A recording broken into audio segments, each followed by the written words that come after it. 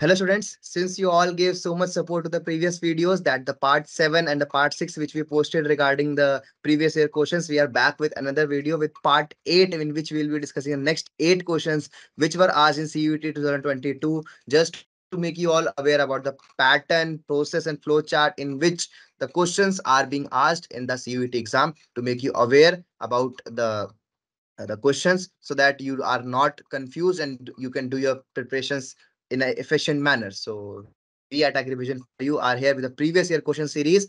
This is part 8. Part till part 1 to 7 we have already posted. If you have not watched those videos, I request you all to watch those videos. I'm Divyanshu Gupta, your mentor for CUET, Food Science and Technology.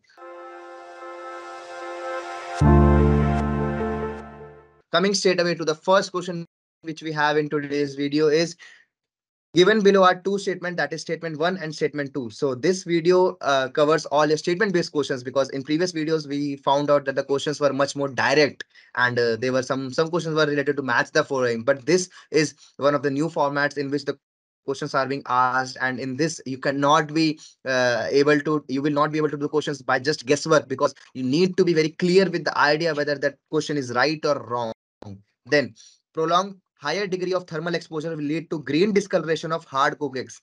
Yes, this is true. Then green colored yolk can be avoided by using proper cooking time and temperature. Yes, this is also true. So both statement one and two are correct. So this is the most optimum answer for this question. Coming to the next question which we have. Again, we have a statement based question that is according to FSSAI, the upper limit for the total polar compounds in a vegetable oil should be 25%. Yes. Then it is voluntary for food businesses to ensure the level of polar compounds is below 25% vegetable oil. No. So this makes second as the right answer for this question. That means both. No, no, no. Wait, wait. It means the third is the right answer for this question. That means statement one is true and statement two is false. So this is the third is the right answer for this question. This question was asked in CUET 2022. Coming to the next question which we have is DATEM is a type of emulsifier. It is being very commonly used in your bakery industries. It finds its application in the baking uh, bakery to make improved bread volume. Yes, both statements are correct. So first is the right answer for this question. This was also asked in CUET 2022. If you are facing any difficulty in attempting any of the questions, you are not able to get uh, correct explanation of that question and you want a deeper insight on any of the particular question, then you may comment your doubt. We'll be very much happy to uh, clear your all doubts. And if you want a deeper insight in any of the particular topic and you want to join our course, then you may contact on the number given on the screen. There'll be the helpline number will be very happy to clear all your doubts regarding the package and all. So you can very well uh, join our course to have a, a deeper insight on almost all of the topics and you can join our batch. Then specify the correct order of the events during surimi processing. So surimi, we all know is a fish-based product and it is very popular and is commercially available also. So uh, I guess fish heading and gutting is the uh, first step whenever we are processing fish. Then uh, mincing will be the second step because you will be having a fish muscle. Then you have to mince it properly in order to have a part, uh, in order to have a, a clear emulsion of your uh, fish proteins. Then we'll be going for leaching and straining in order to, uh, this is the next step which is done in your surimi processing. Then we have mixing with cryoprotectants and then forming in a particular shape. And then we have your packaging. So the correct option comes out to be C, then A, then B, then your E and D.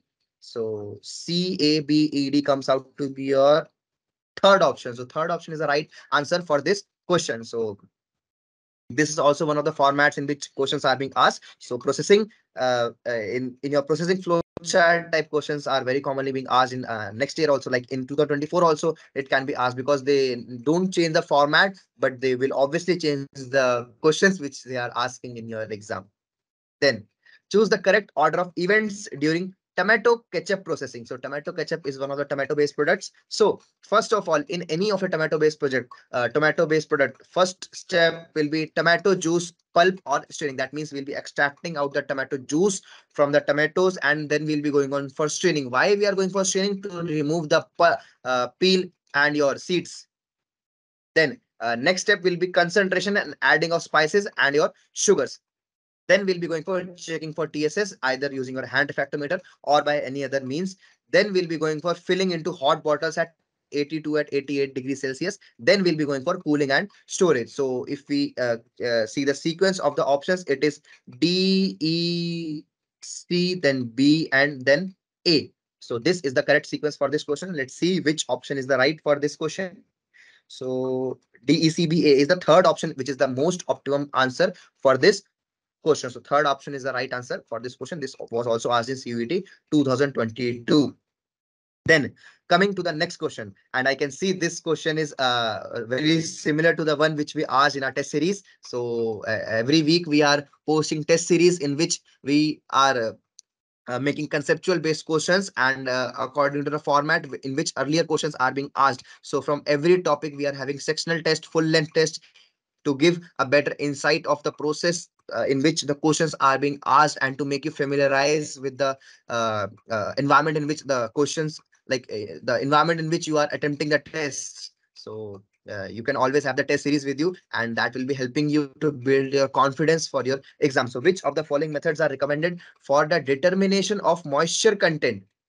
So uh, we can see Dean and Stark method is one of the method. Then oven drying is not used. Why oven drying is not used? I explained this in class also because spices are having essential oils and oleoresins in them. And oven drying uses some higher temperatures and that will be causing the loss of volatile compounds from them. Then Karl Fischer method is used. Infrared heating is also not used because of the higher temperature and dew point determination method is not useful in this. So a and c is the right option for this question which makes two as that that means b part as the most optimum answer for this question. So this question was in CUET 2020 2. So see, you can uh, very well see that the questions are more of application based and they are randomly asking question from any other topic. They are not sticking to a particular topic.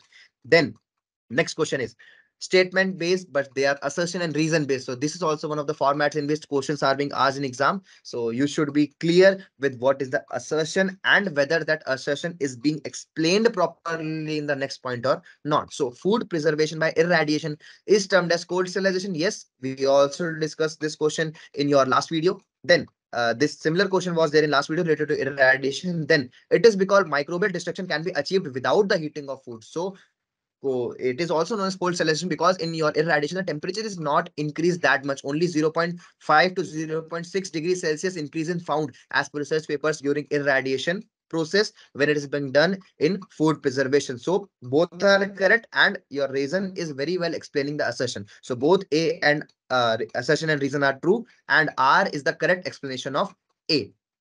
Then coming to our next question which we have is during constant rate period of drying, the surface temperature of food remains close to the wet bulb temperature. Yes, true.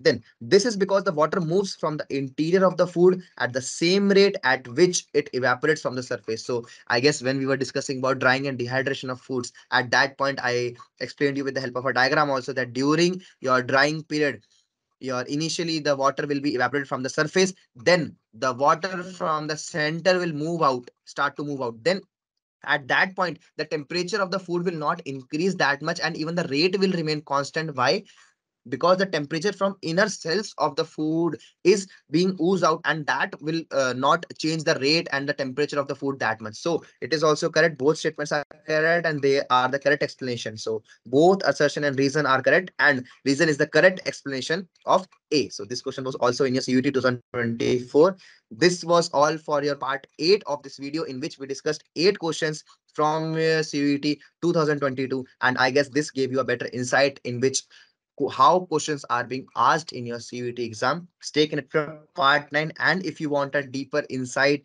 and you want a better explanation of any of the questions, you may comment down your queries. We'll be very happy to uh, clear your doubts. And if you want to have any clarification regarding the join in joining our batch then you may contact on the number given on the screen and that uh, will be helping you out. So this was all for your part 8 of the video. Stay connected for part 9 we'll be soon posting that. And all the best for your exams. I I wish you all are preparing very good for your exam and I wish that you all land in your dream college or university which you are planning for. Thank you all.